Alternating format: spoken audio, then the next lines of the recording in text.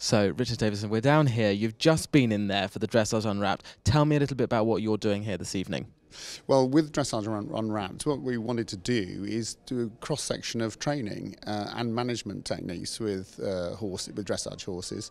So Carl, Gareth, and myself um, have basically hosted this uh, um, this evening.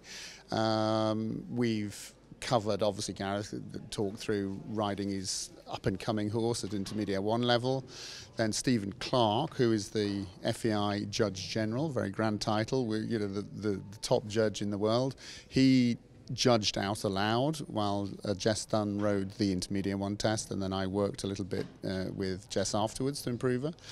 Uh, now, Dickie Waygood, who was the British dressage team chef d'equipe, uh, is and is now the three-day eventing uh, chef d'equipe, is working with Pippa Funnell on a dressage with a dressage horse uh, um, that uh, Judy Harvey has uh, in training, and they're doing some pole work to sort of keep horses' interest, and then we're going to finish with Carl and Charlotte.